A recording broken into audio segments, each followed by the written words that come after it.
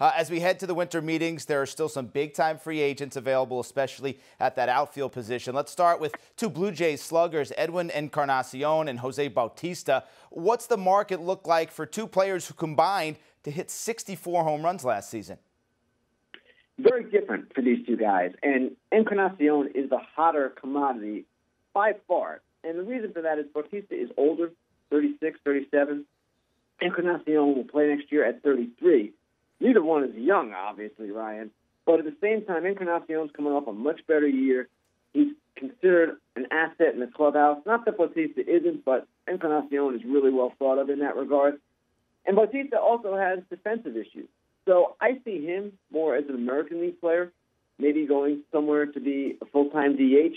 Whereas with Encarnacion, I can see him in the National League, possibly with the Astros as a first baseman, and I can see him getting a big multi year deal.